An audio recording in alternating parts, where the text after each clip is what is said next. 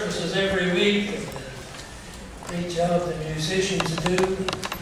Just throughout the ministry, we're blessed to have many people who commit their lives and their time and use their gifts so that we as a body can continue to grow, develop, minister to one another. And that is a great blessing. I have a Father's Day message today, and it comes out of Revelation 17.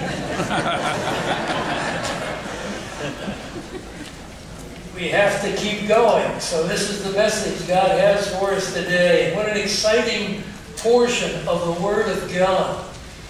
Sometimes as I study what God has said about the future, it seems like we are living in the preliminary times. And uh, certainly, if Paul wrote to the Romans almost 2,000 years ago and said, Now is our salvation nearer than when we first believed. Think how much nearer we are to what God has promised the coming of Jesus Christ to gather us to Himself and the unfolding of the events that are recorded in the book of Revelation. And I remind you, Jesus said as He began this letter, that there is blessing on those who read, those who hear, those who understand. Uh, this was a book given for the instruction and benefit of his churches. And sadly, many people remain uh, in the dark, even believers, about the book of Revelation. When God gave it as the conclusion, the final capstone of his word to us. And it pulls things together in such a beautiful and clear way. We're in chapter 17, and in chapter 17 and 18, we come to the climax of this world system under the authority and control of the devil. And ultimately, that is under the ultimate control of God. That as Satan told Christ in the temptation, all the kingdoms of the world are mine. They have been given to me. Because of sin, God has planned that Satan should have authority and control in the world. And he is in constant conflict with God and the plan of God. And moving all the world toward the climactic conclusion of this world system, where he is creating the ultimate counterfeit to what God has prophesied and promised in His Word. A kingdom that encompasses the world ruled by one man. A man supernaturally raised from the dead. But that man, as we're talking about in Revelation chapter 17, is not Jesus Christ. He does not come to earth to rule chapter, until chapter 19. His kingdom is established in chapter 20 of the book of Revelation. Here we have Satan's final attempt before the coming of Christ to create a counterfeit alternative. Uh, we looked into the first part of Revelation chapter 17 where we got an overview of the vision given to John.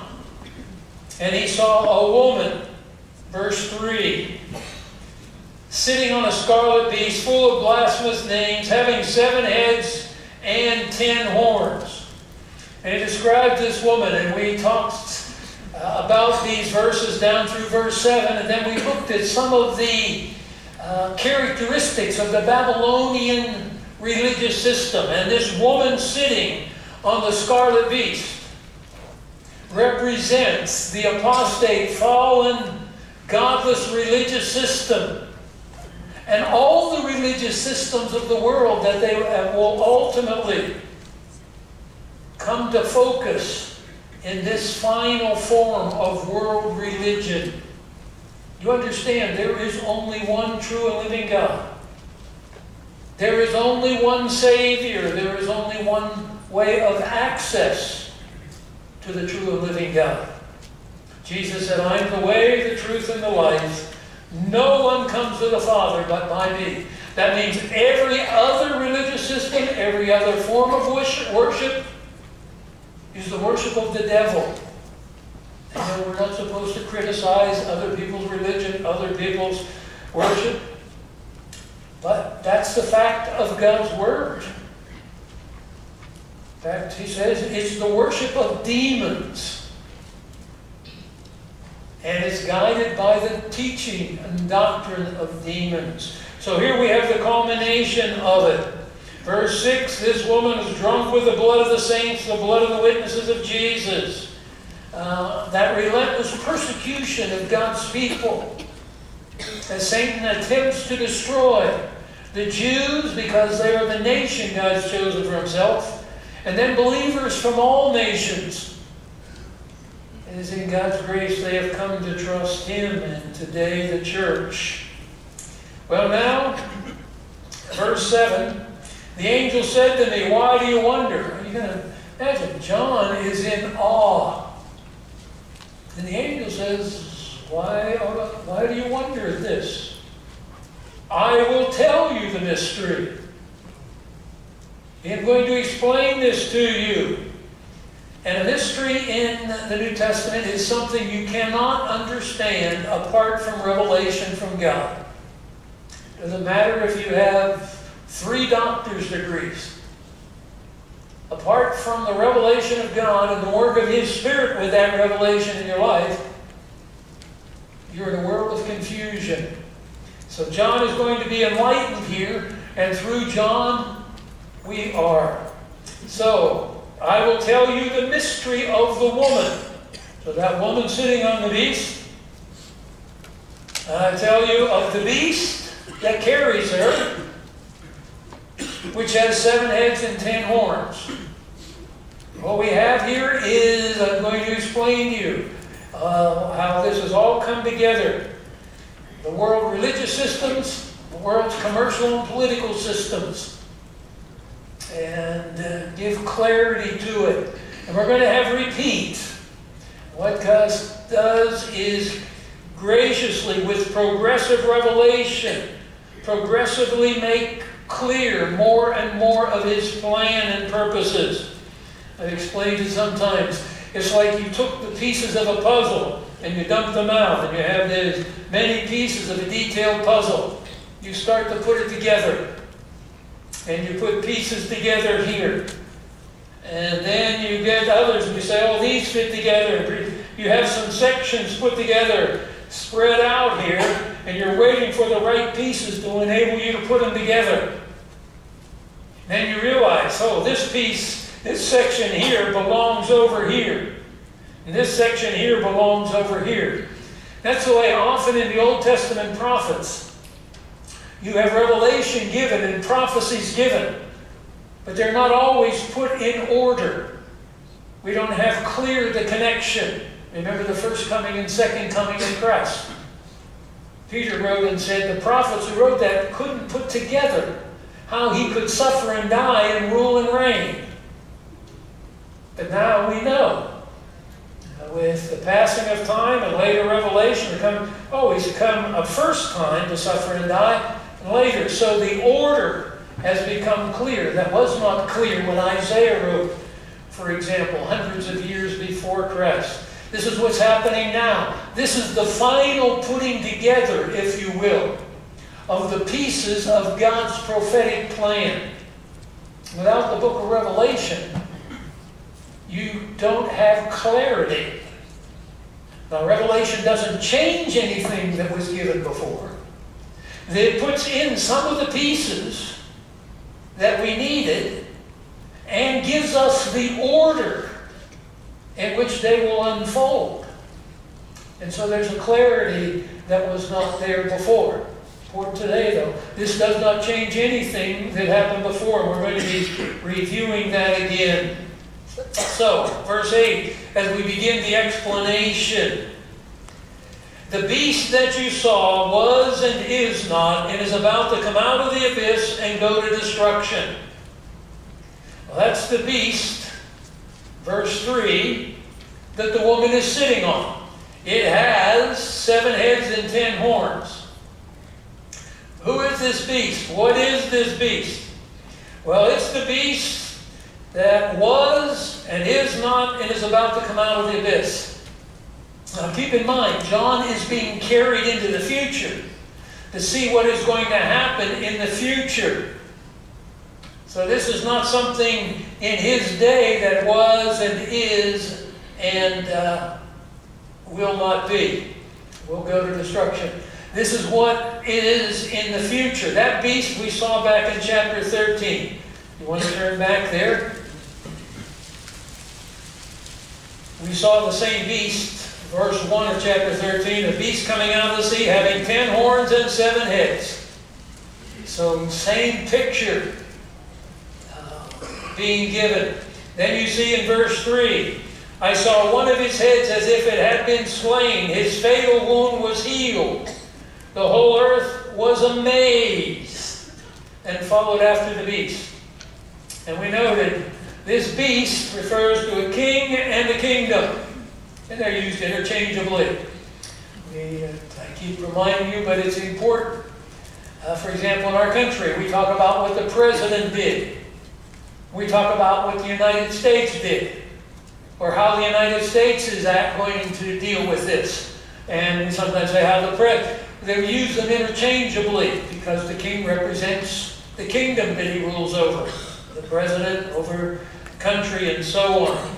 So this beast is both a form of empire, it's going to be the revived Roman Empire as we talked about ultimately, uh, and also the man who rules it. And I think that we have here a supernatural action as we talked about when we did chapter 13 where this man is slain and then brought back to life. Uh, and that causes the world to be amazed by him. They will come to worship him. Come down in verse 12 while we're here chapter 13. This is a second beast that is a religious person. He makes the earth and those who dwell on it to worship the first beast, whose fatal wound was healed. So this ruler will become the object of worship. And then in verse 14, he deceives those who dwell on the earth because of the signs which was given him to perform in the presence of the beast, telling those who dwell on the earth to make an image to the beast who has had the wound of the sword and come to life. And then amazingly, verse 15, it was given to him to give breath to the image of the beast.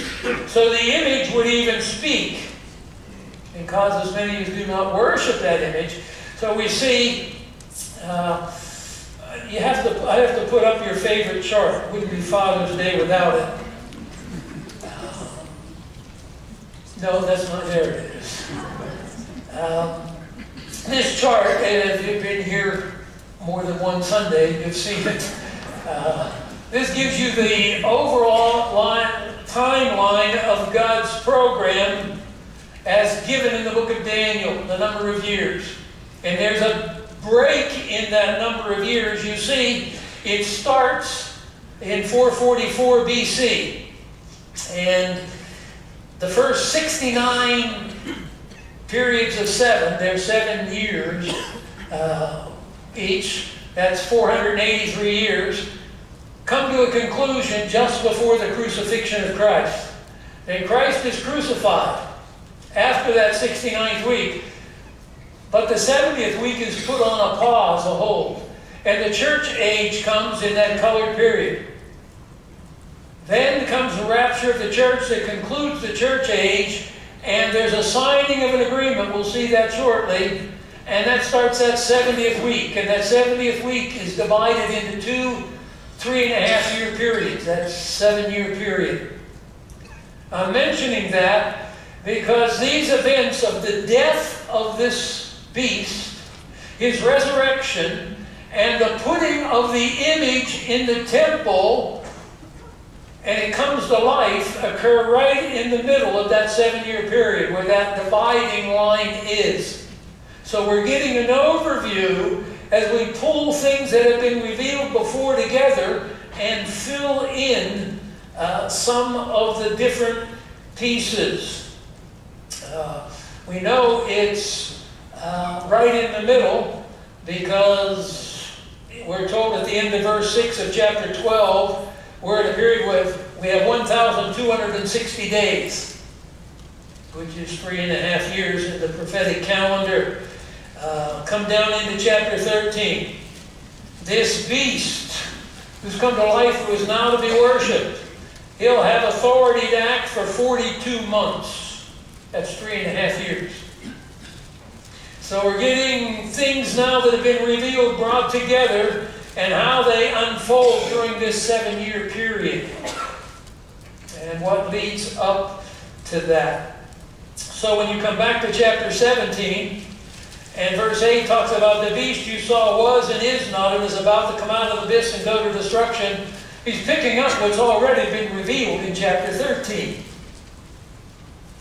And uh, he'll add to that now and make it clearer, explaining what has not been explained before.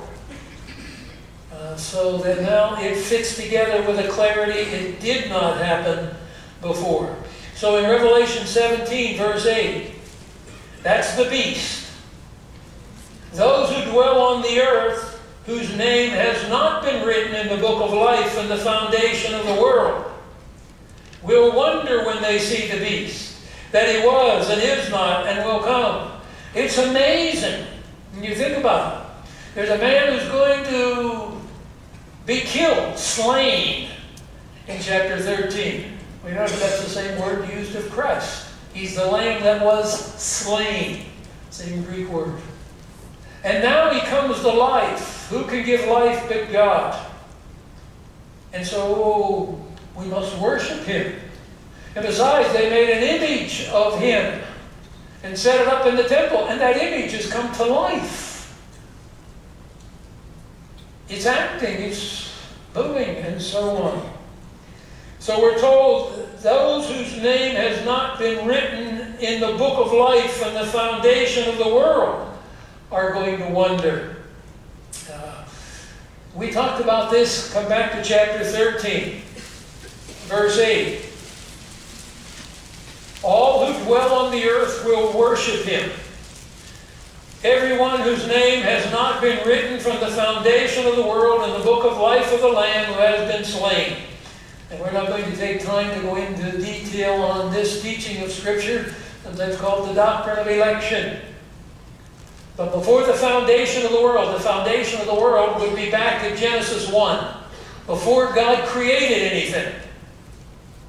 He had a book of life, and He put names in there. And those names in there have been down to today. Uh, perhaps you're here because your name is one of those names.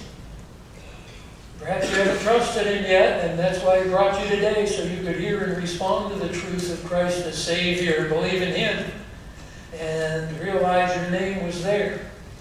These names were written early. We think, well, that just doesn't seem right. What about others? From among fallen, sinful humanity, God has intervened to bring some to himself. What about those who don't, whose names are not there? They don't want to be saved.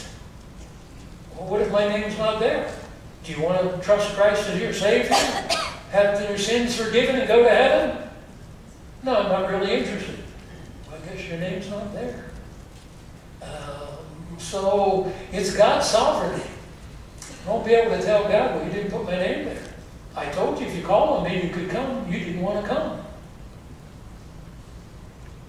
I didn't put your name there. And it's God's grace that any of us have come. That's why the book of Ephesians says we will be trophies of God's grace for all eternity.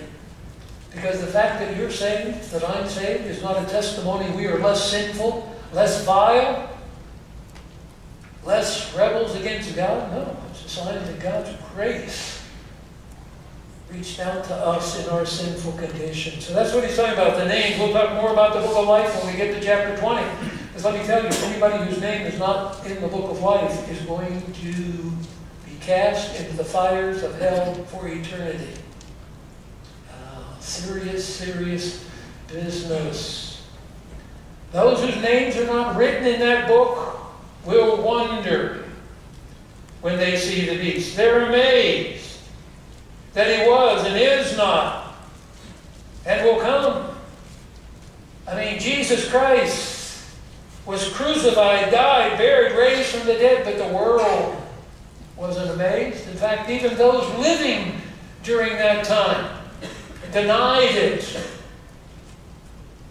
Paid the soldiers guarding the tomb money to tell a lie about what happened to his body. But you know, Satan's the God of this world, and those who follow the Satan, serve, follow Satan, serve him and worship him. When this man is raised, the whole world will be united in one world religion. Come back to the book of Second Thessalonians. Second Thessalonians.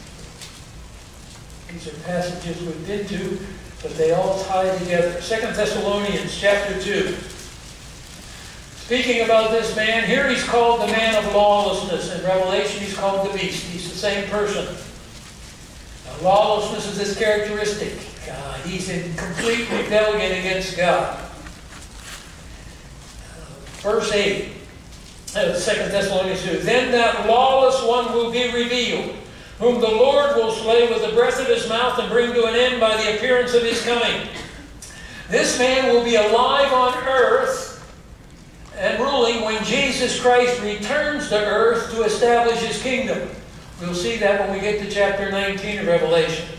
No, this is the one whose coming is in accord with the activity of Satan, with all power and signs and false wonders, with all the deception of wickedness for those who perish, because they did not love uh, did not receive the love of the truth so as to be saved. This man will be satanically empowered. Well, I project that, well, what really happens is he's killed, and then Satan moves into his body to control him. Maybe, maybe so. We know he'll be empowered because he comes out of the abyss. Which this is where the hold of demons is. So, where how this is all worked out is secondary to the fact of what happens. He's alive. He's functioning. The image of this man, whether it's a demon that indwells that image and gives it all the appearance of life, the impact on the world is the same. And the world will be amazed. You'll note uh, verse uh, 9 that his coming is in accord with the activity of Satan with all power, signs and wonders. You know, the limitation on Satan is God is the one who is all powerful. But remember, I just mentioned you that Satan said God had given him authority over all the kingdoms of the world. That takes some power and wisdom to control and move. When God gave his approval, Satan could cause the wind to blow and cause a house to fall on Job's children and kill them all. With God's permission, he could cause devastating illness to overtake Job and make every breath misery for him. Don't underestimate the power of the devil. And when God is prepared, you want false worship? You want to serve the devil? I give you the devil. Remember Romans 1? When they chose to reject God and His revelation, He gave them over to their sinful desires. Here's the ultimate climax and realization of that. You want to worship what is to you a divine being, but not me. You want to worship a God, but not me. Well, then you can worship the God of this world. And God gives Satan the power and the freedom now to bring a greater deception on the world. It's so great. Jesus said, in talking about this time, if it were but for God's care, even the elect would be deceived. Make stop and think. What would you think if you saw a man raised from the dead? What would you think if you saw an image of silver and gold or whatever that have been made and set up and all of a sudden it begins to move about and do things? Even as a Christian, you'd be thinking, maybe there is something to this. Maybe. Jesus said, if possible, the very elect. But it's not possible. So none of those who truly are in the book of life, none of the elect will become worshippers of the devil, of the beast, will not receive his, mark. Uh, that seems to be clear. So come back. This is a time of the demonstration of Satan's power in its greatest fullness. They'll wonder when they see this beast. Here is the mind which has wisdom, verse 9 of Revelation 17. God intends for us. The beginning of wisdom is the fear of the Lord. We as God's people are to have minds of wisdom. We are intended to understand this. It is a tragedy of the work of the devil in influencing the church, even believing churches that they ignore the book of Revelation, or they're confused by it, or they think we oughtn't to get involved too much in prophecy. We want to have the mind of God. Here's the mind which has wisdom. Now, here comes the interpretation. The seven heads are seven mountains on which the woman sits. And some people take that right away, they run to Rome. Rome is said to be the city built on seven hills. And so this is talking about Rome. I don't think so. We, we have to keep reading. Um, you know, sometimes you're telling your kids something and they know what you're going to say, so they tell you. You say, oh, wait, let me finish. Sometimes that happens in marriage. Uh, but that's a side issue too.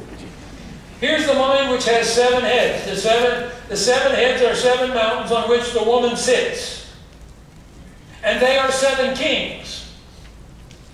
So the mountains represent the same thing as kings. The mountains are kings. And when you go back to Old Testament prophecy, Daniel chapter 2, and other places, a mountain symbolizes a kingdom. When Christ comes to earth in Daniel chapter 2 in that prophecy and establishes his kingdom, it grows into a great mountain. Isaiah has the same uh, kind of uh, analogy in his prophecies. The seven heads are seven mountains, they are seven kings. So we have mountains, we have heads, we have mountains, we have kings. The heads represent kings or kingdoms. Uh, the mountains represent kingdoms. The kings represent the kingdoms they rule over. So they're all the same thing. So that's the angel explaining. So you're not running off looking for what do the heads represent? What do the kings represent? Uh, what do the uh, heads, you know, every, uh, they're just different uh, symbols that represent the same thing. There's seven of each. There are seven kings, five have fallen, one is, one is yet to come. We're going to go back to the book of Daniel again, so if you go back there, I understand and know this is a great repeat.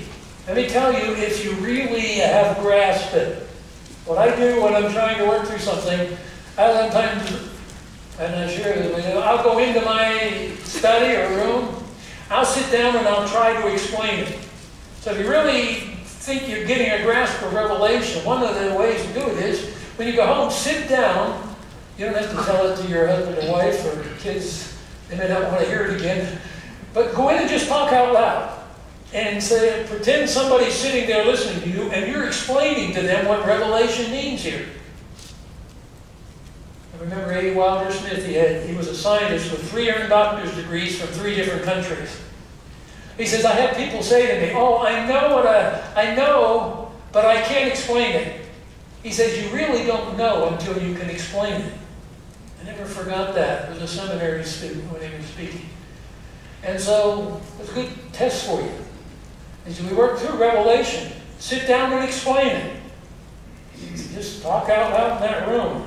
Somebody want to ask you, what does Revelation 17 mean? And you sit there. You might walk in on me someday if Marilyn won't let you in and you stuck down into my study. And they're still talking to himself. Nobody's in there. But I'm explaining this passage. All right. Did you get to Daniel chapter 2? I did. Okay. Here's Daniel. Put up, if you would, the empire seen by Daniel. Uh, we've been through this, but uh, it's the background. Nebuchadnezzar had a dream. He couldn't figure it out. God had to give revelation to Daniel. Remember, mysteries have to be revealed. Here, so Daniel in verse 36 of Daniel 2 tells Nebuchadnezzar what his dream was. Now I'll tell you the interpretation. You start with Babylon. What Nebuchadnezzar saw was this image of a man. And each part of the image was a different metal. And each part of the image with a different metal represented a different empire. He started with the empire that was in existence. Well, Daniel was uh, speaking Nebuchadnezzar. Babylon. So he says to Nebuchadnezzar, You are the head of gold. Verse 3, verse 37. You are the King of Kings to whom God of heaven has given, given the kingdom, the power, the strength, the glory. The end of verse 38, you are the head of gold. So you can see the empire and the king can be used interchangeably. Then he goes on to the subsequent. We're not going to go through these, we've been through them a number of times. The next empire is Medo-Persia. Next empire is Greece. Next empire is Rome. The fourth kingdom, verse 40, strong as iron. Then you'll note their feet and toes, partly of potter's clay, partly of iron. Verse 42, as the toes of the feet. And how many toes do you have on a normal image of a man? Ten. Doesn't say ten, but he's talking about the toes. Everything else has been a normal image. We take it it's ten, and later Revelation indicates that. The toes of the feet are partly iron, partly pottery. You'll note this is part of the Roman Empire because it does it picks up the iron that represents Rome. So that's why we talk about a coming revived Roman Empire, because the toes are yet future. Remember Old Testament prophecy? Remember that chart, that colored period? That's not in there. Uh, can you go back to that quickly, Steve? There you Oh, man, you're quick. Uh, you see this colored uh, period on here? that tan area. That does not appear anywhere in Old Testament prophecy. So Old Testament prophecy jumps from the resurrection of Christ and events around that to events following the rapture of the church. There's the, there we go, thank you. Uh, so we jump, Daniel brings us up to here. Uh, there it goes. That's where Daniel's prophecy, then he jumps down to here. So he does not see the church age. It wasn't God's plan to reveal it. So between verse 40 and verse 41, we have the church age basically. Uh, after the Roman Empire, it'll continue on, but the Old Testament uh, really doesn't go into any details after that. Uh, death of uh, Christ, the resurrection. So keep that in mind when we're reading here. People get confused. The later revelation didn't God hadn't revealed the church. So he's just revealing to Daniel what happens for Israel. You go right from the death and resurrection of Christ to the seven years. They complete the 70th week. All right. You'll note the toes of the feet are partly iron, partly clay. You're going to have that mixture. Um, let me read you something I found in the news. These are ten toes. And we're going to talk about this final form of the kingdom with ten. I downloaded something that was uh, forwarded to me on the internet from a uh, news website. I believe this came from Bloomberg News. This was uh, here uh, a week or two ago, June 7th. And I just wrote down a section of it. This is a quote from Angela Merkel, the Chancellor of Germany, talking about the world has been thrown into confusion with the activities of the President of the United States. Um, so he said, we need a new world order. And Europe has to take a different look at itself and think about reconstituting itself. And what she says could be done. A rotating group of about 10 member states could work in order to speak with one European voice on the global stage. Now, it's just interesting to me. Daniel's writing 2,500 years ago. He's talking about a final form of the Roman Empire being ten toes, which, as we'll see, represent ten kings or kingdoms, ten nations. And here, one of the leaders of what would have been part of the old Roman Empire says a rotating group of about 10 member states could work in order to speak with one European voice on the global stage. I'm not saying that's a fulfillment of this prophecy, but by the same token, I find it fascinating just to watch the news and see what could be going on. Israel's back in the land. Uh, Europe wants to be one united country able to function independently on its own. We can no longer depend on the United States and so on. We must establish ourselves and our independence. Maybe we could be organized in such a way we could have 10 well, I don't know that that's going to be it, but I can tell you someday it will come about that way. Just a point of interest. We know it's not happened in the past. Some people fail to appreciate that God gave progressive revelation. So they read this, and you come down to verse 44, and it says, In the days of those kings, the God of heaven will set up a kingdom which will never be destroyed. So they say, well, we had the Roman Empire, the 10 feet, and the, I mean the 10 toes on the feet, must be 10 Roman emperors of the time of the Roman Empire.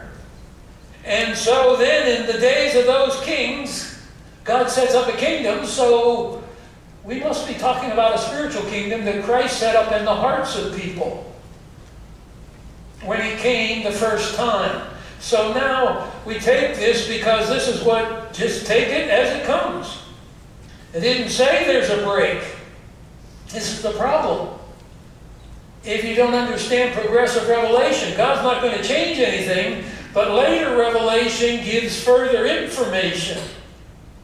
And then later in the New Testament, he'll tell us there's a break. We get an indication of it. Uh, come over to chapter 7. And you'll see on the chart, we have the same information with a different uh, picture. You had the head of gold to represent Babylon in chapter 2. In chapter 7, it's a lion. Instead of silver to represent Persia, you have a bear. And it's fitting because Nebuchadnezzar, a pagan king, saw the empires of the world and they're beautiful, they're striking. Daniel sees them from God's perspective, they're ravenous animals that tear each other apart. Uh, but you see, it's the same image when you come to chapter 7. And we have the four animals. Then you come down to verse 7. You have the fourth beast. It's dreadful and terrible. And it's like the iron. It destroyed everything. It's more powerful than any of the previous kingdoms. This beast destroys all the other previous kingdoms. While I was contemplating the horn, it had ten horns, the end of verse 7. So you see, again, they're part of that fourth beast. In chapter 2, it was the iron that continued into the toes. Here, it's the beast, the fourth beast, but it has ten horns. And while I was contemplating the horns, behold, another horn, a little one, came up among them. Three of the first were poured out. It becomes great and powerful. Now we've added another little thing. It doesn't change anything from chapter 2. But chapter 2 didn't tell you about another step in there, the little horn. But everything else is the same. So you see how an additional revelation can add a piece that helps to clarify. And then you have the kingdom. So the same order, but there's another piece in there that was missing. It's like you have the puzzle, and you know you can't get that one piece that goes in. There's oh, where'd it go? And then God comes along and says, "There's a little more in here." Now that fits in there. So He hasn't changed anything else. This is important. Some people think, well, later revelation changes the earlier revelation. It never does. It can add to it, it can clarify it, but it does not change it. So you see here we have the same. Come over to chapter 9. Verse 24. 77s, translated weeks, but they're weeks of years as we've seen. A total of 490 years have been declared for your people. That's why the church is not included in Old Testament prophecy. We're concentrating on Israel. God doesn't make anything about the church known in the Old Testament. So he gave the starting point. We have that on that chart we look at all the time. Then, verse 26, after 62 weeks, which was after 7 weeks, so a total of 69 weeks, Messiah will be cut off. That's his crucifixion. You know, it's after the 69th week, 483 years. He has nothing. So he doesn't establish a kingdom. He doesn't take rule of the world. And the people of the prince who is to come will destroy the city and the sanctuary. It doesn't say the prince who is to come will destroy it, but the people of the prince who is to come, who destroyed the city and the sanctuary in 70 AD, the Romans. I think that's an indication the coming prince will be Roman. Uh, verse 27 He will make a firm covenant with the many for one week. That's what we're talking about this last seven year period. In the middle of the week, he'll put a stop to sacrifice and grain offering. And we've seen this in our study of Revelation, like chapter 11. The temple is going to be rebuilt in Jerusalem. The sacrificial system is going to be reinstituted. We've seen that in our study in Revelation. All on the basis of this covenant with this man representing the revived Roman Empire, this 10 nation confederacy, even though he's a minor figure, he'll represent them in signing the agreement. But in the middle of that seven years, everything changes. What changed? There was a battle. He was killed. He was raised from the dead. He's ready to assume total control. And so he becomes the dominant figure with the agreement, as we'll see, of the others in that 10 nation confederacy. He becomes world ruler, the object, the only object of worship that's allowed in the world. And the world's in agreement. You know, you realize everybody but born again Christians are in agreement we say we will worship no one, nothing else but the true and living God. The unbeliever will worship anyone and anything but the true and living God. So when Satan gives them the best and perfect counterfeit, their hearts are joined in oneness. They are all slaves of the devil. They are all joined in false worship. This just gives us unity in that. The only problem for the world are believers.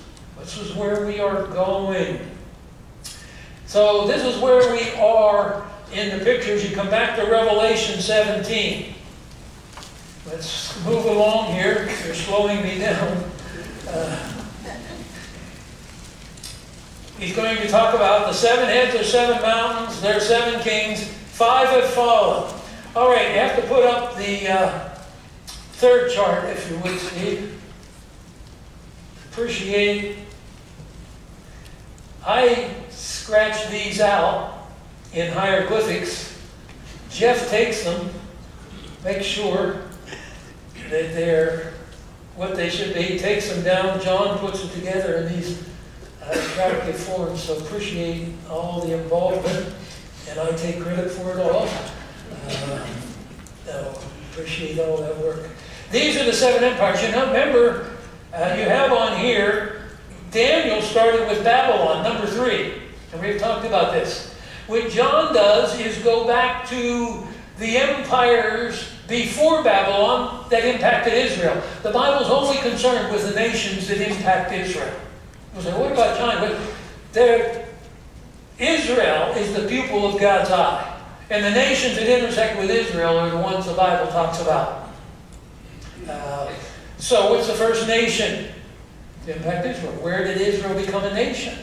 They went down into Egypt as the family of Jacob, about 70 people. They come out a nation of 2 million.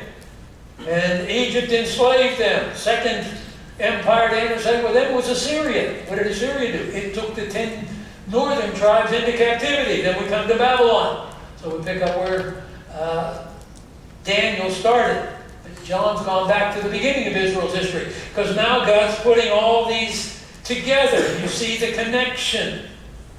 So, what's he say in uh, chapter, verse 10 of chapter 17?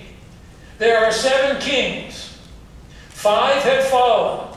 So, the first five on this list, these five kingdoms have passed out of existence. They've lost power. One is, that's number six, Rome. As John writes, the present ruling empire was Rome. The other is not yet come. And when he comes, he must remain a little while. The, the coming empire, we saw it already in Daniel chapter 7. Ten nations. Verse 11. The beast which was and is not is himself also an eighth and is one of the seven. Remember, out of the ten horns, comes a little horn.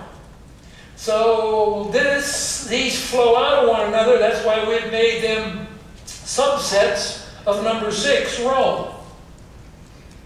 Because they're all inseparably connected with Rome uh, and the scripture prophetic revelation.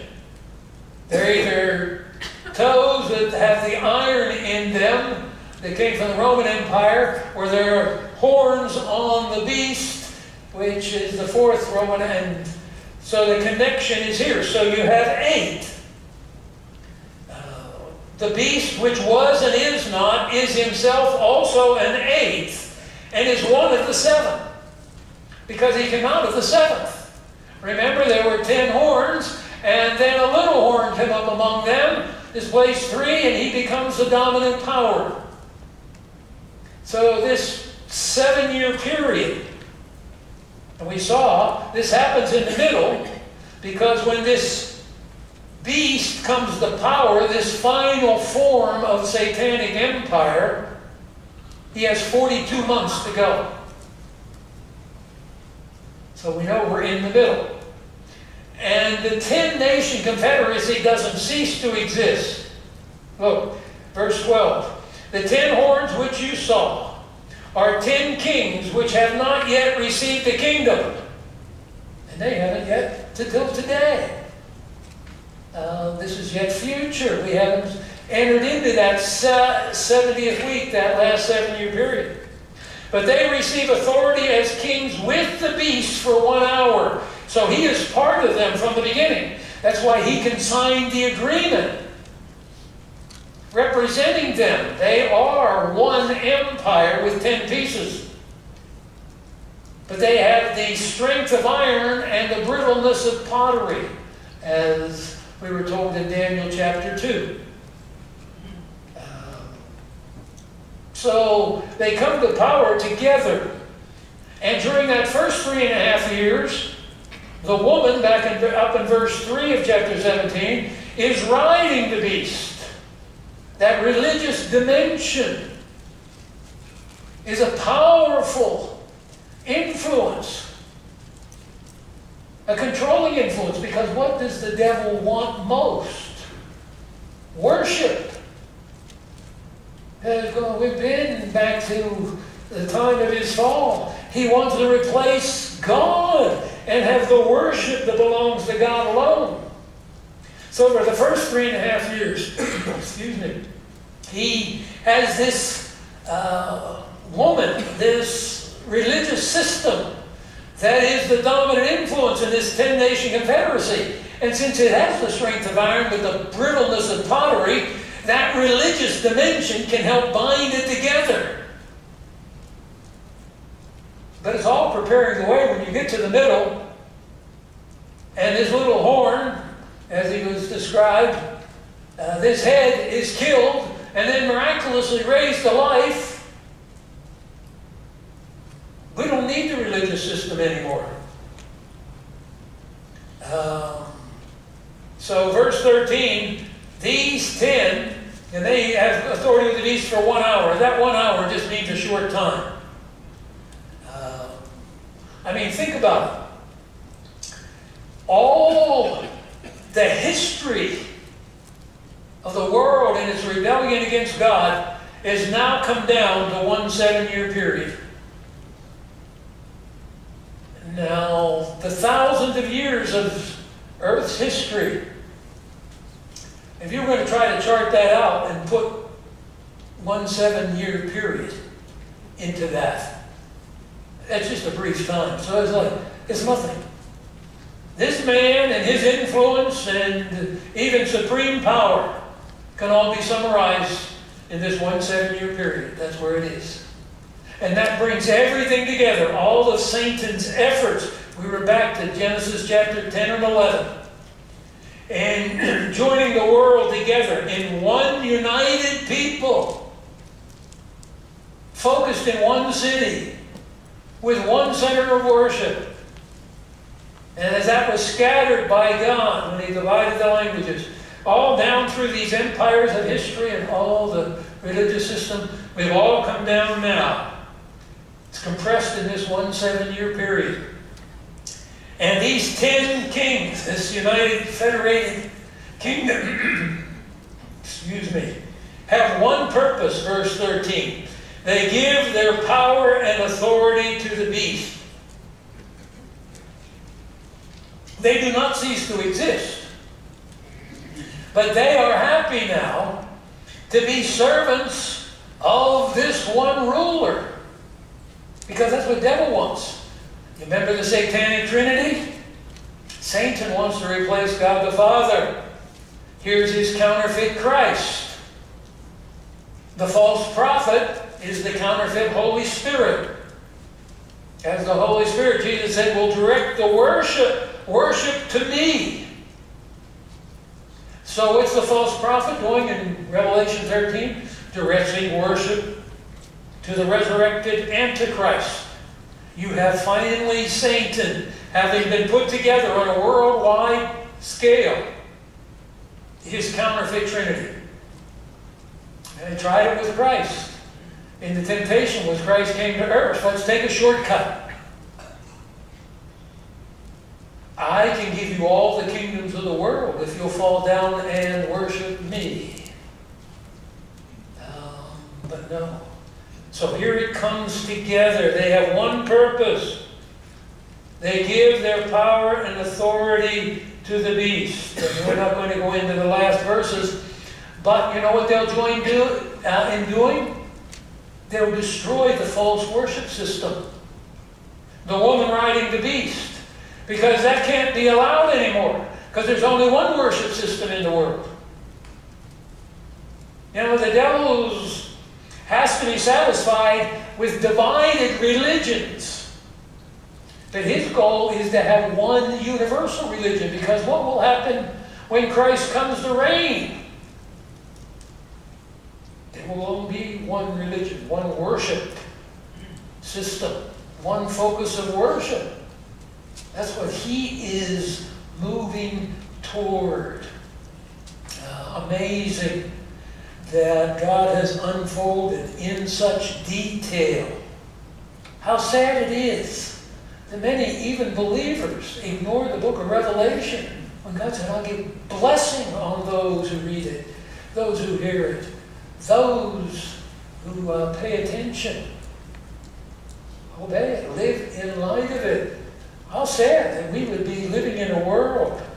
I don't know how close we are to the return of Christ for the church. Uh, thing, you know, I can't prophesy. Uh, will it be today? Will it be tomorrow? What? How quickly could things happen? Look at how quickly things have changed in the world in the last year. In, I can look out there, many of your lifetimes. We've had the European Union come into existence after World War II.